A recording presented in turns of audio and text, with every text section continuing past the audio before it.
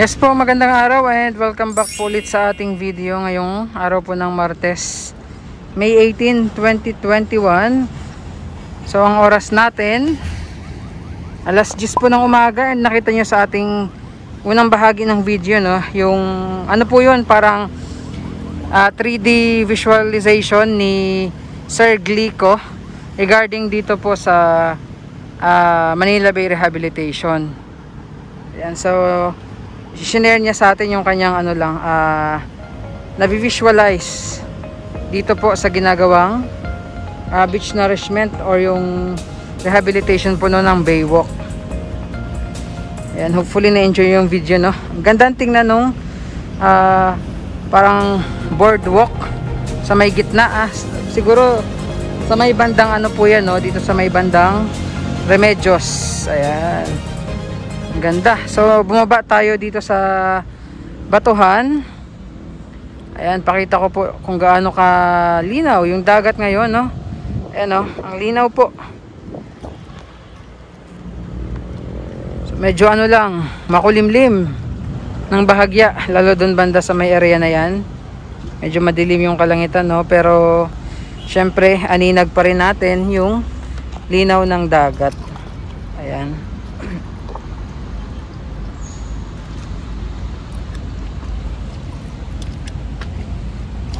Yan, so kita natin yung mga hipon. So sa mga nagtatanong po regarding sa uh, butanding na nakita po dito sa Manila Bay. So sabi nung uploader pala, yun po ay sa may bandang Sangli Point in Cavite, yung butanding na po yun na nakuha na ng video. Uh, pero 'di ba? At least may mga uh, sightings na dito ng Butanding no sa bahagi po ng Manila Bay. Ayan o napakaganda ang linaw. Linaw daming isda.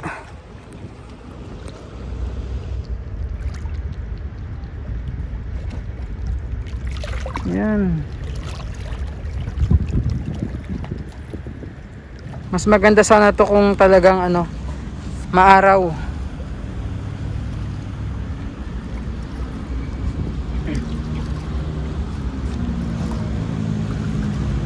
She's right there, I can't deny the beauty before my eyes. I can't help but fall in line, cause there's truth in her lies. Once again, I've lost my way, chasing cars and wasting days. Am I here to pass your time? Cause all I see are blurred lines.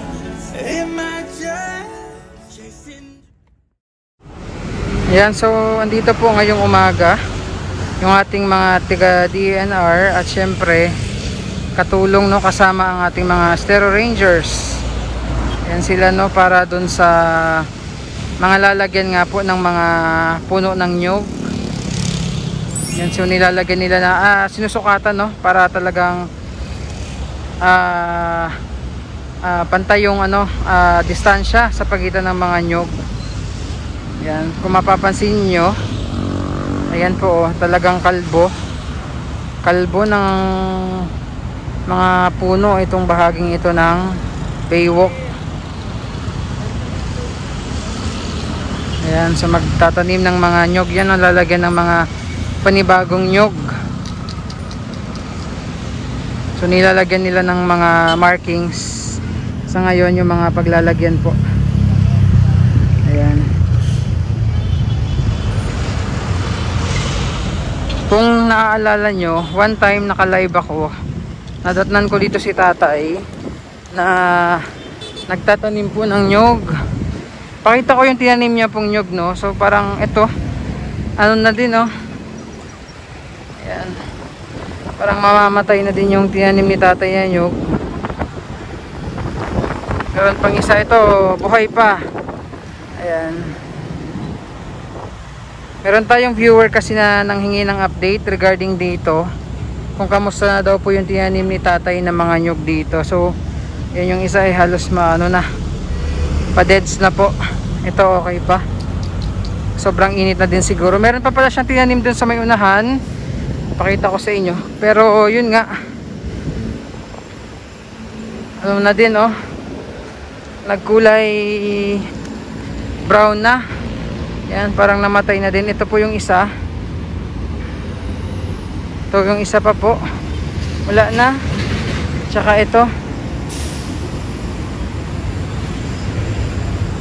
Yan. So, huwag po kayong mag-alala dahil ang ating DNR papalitan po yan lahat.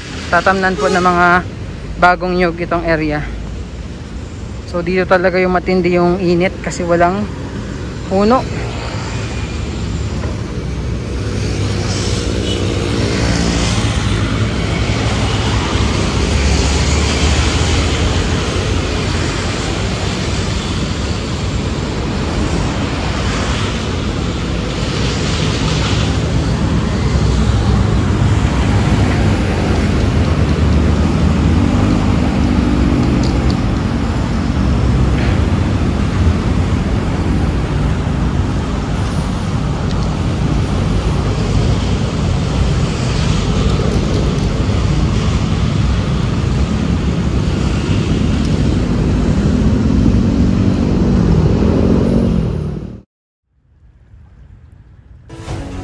Must be blind to think that I could steal her heart and change her mind. Fantasy, I realize that there's truth in her lies. Once again, I've lost my way, chasing cars and wasting days. Am I here to pass your time? Cause all I see are blurred lines.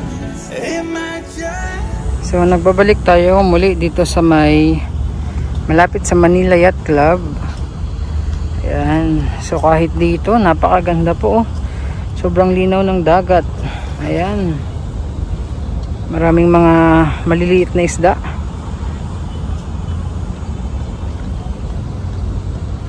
Linaw. Ang linaw ng dagat.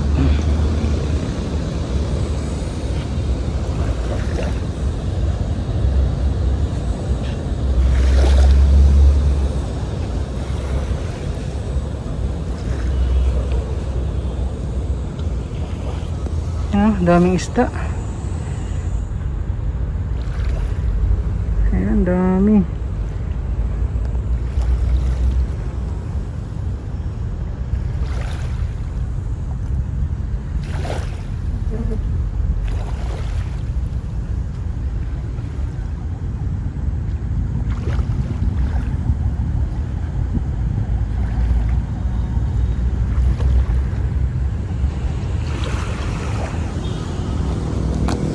Tsaka natin dito banda.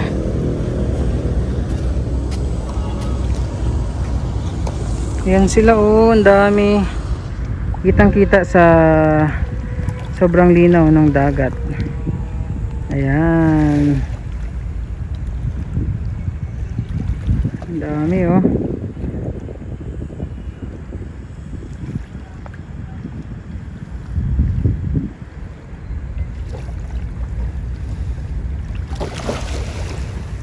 Daming isda.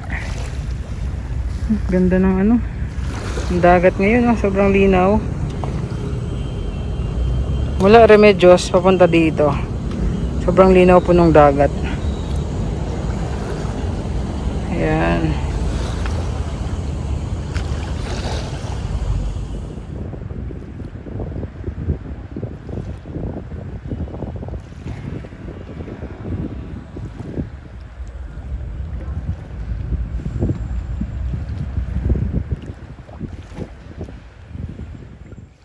Yan, so talagang naaninag nyo po no, yung buhangin, tsaka yung mga bato dyan sa dagat.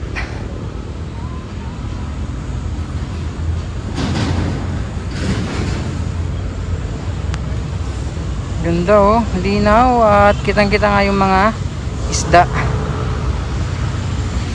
Ayan.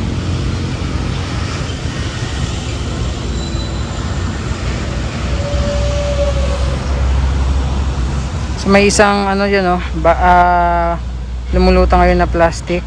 So bagong ano yan, bagong pasok na kalat dito. Napakaganda ng dagat. Ayan, galing tayo ng Manila Yacht Club. Dami ring ano doon, sobrang linaw at ang dami ring mga isda.